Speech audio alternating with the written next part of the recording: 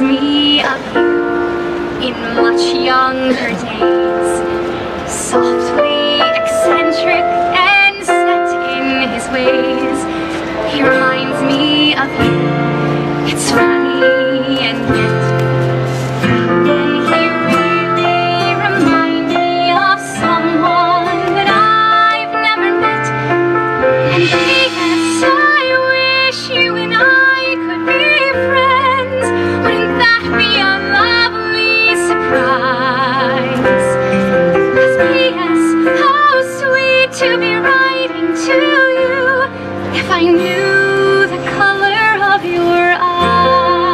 We went for tea.